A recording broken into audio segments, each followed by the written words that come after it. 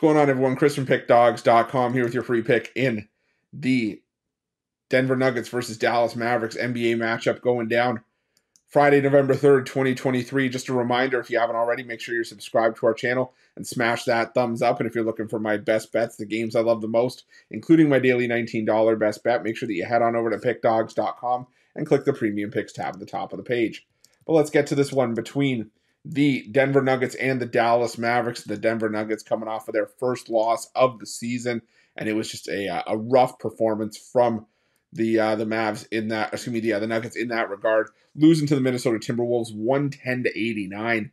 Meanwhile, the Dallas Mavericks coming into this one 4 0 on the year, uh, 3 and 1 against the number after a 114 to 105 win over the Chicago Bulls. Now, Granted, you know, Denver probably you could argue has played the tougher schedule to this point. A home game against the Lakers, played the the uh, the Thunder on the road and routed them by 33 points.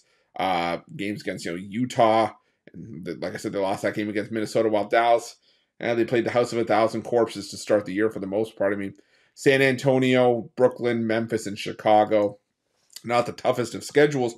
But that being said, doesn't have to be the toughest of schedules you still got to be able to, you know, on your end, be able to score points. And uh, that's what the, the Dallas Mavericks have been able to do in bunches. They put up 114 only against the Chicago Bulls last time out and, and did a lot of that damage late uh, to pull away from the Bulls.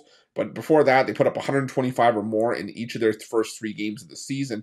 Now, Denver, surprisingly 5 and 0 to the under this season because they played solid defense. The 110 points last time out against the Minnesota Timberwolves were the most that the, Denver Nuggets had allowed all season.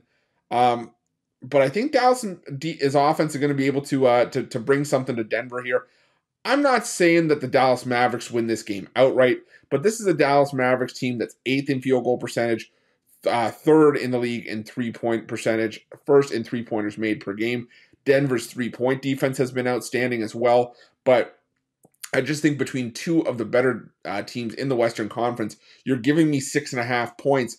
I get why Denver is favored here. I just think this is a case of too many. I think Denver wins this one. I think it's by four or five. So watch the line, keep tabs on it. But I'm I'm going to lean towards the Dallas Mavericks here, getting the six and a half points, and that's going to be my free pick. But just a reminder, if you haven't already, make sure you're subscribed to our channel and smash that thumbs up. And if you're looking for my best bets, you can find those at PickDawgz Premium. While you're at PickDawgz, check out our betting tools. They're 100% free. They're the best betting tools in the business and tools that you want to make sure that you have in your back pocket when you're making your best bets for the day's action.